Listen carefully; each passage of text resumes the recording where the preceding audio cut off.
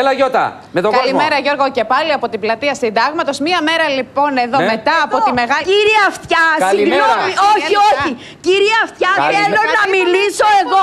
Καλημέρα όχι σας. τώρα, Να κύριε Αυτιά, μιλήσει. με ακούτε; Συγγνώμη, μι- όχι, θέλω να μιλήσω. Καλημέρα. Όχι, κύριε Αυτιά. Καλημέρα, λέει ο κύριος. Καλημέρα σας, Χριστός καλημέρα. Ανέστη. Σήμερα είναι η τελευταία μέρα η απόδοση του Πάσχα που λέμε Χριστός Ανέστη. Να δούμε αν Σα- θα- Μ' ακούτε, κύριε Αυτιά; Βεβαίως σας ακούμε μεγάλη Συγγνώμη, είστε προσοχή. καλός άνθρωπος.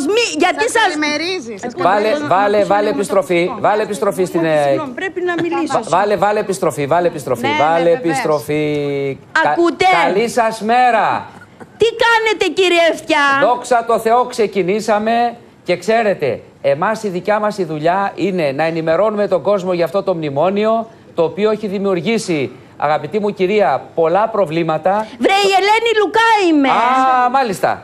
Η Χαίρομαι κυρία Ελένη ιδιαίτερα. Λουκά είμαι. Φοράτε και το καπέλο και σας πάει κιόλας Να, και... ε, θέλετε να το βγάλω. Μια να χαρά φαίνω- είστε. Λοιπόν, Να φαίνομαι καλύτερα. εσείς εκεί τώρα στην πλατεία συντάγματος πάτε να διαμαρτυρηθείτε για το Βεβαίως. μνημόνιο. Έτσι. Εγώ έρχομαι κάθε μέρα. Ναι.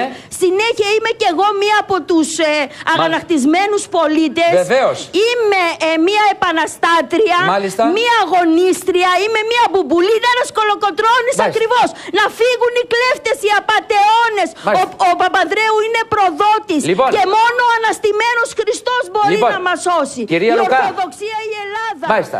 Μόνο ο Χριστός, ο Θεός. Αυτό το μήνυμα περνάω κύριε Αυτιά. Λοιπόν. Μόνο ο Θεός μπορεί να μας σώσει σήμερα από το αδιέξοδο. Καλή σας μέρα. σας Σας ευχαριστώ θερμά να μιλήσουν κι άλλοι.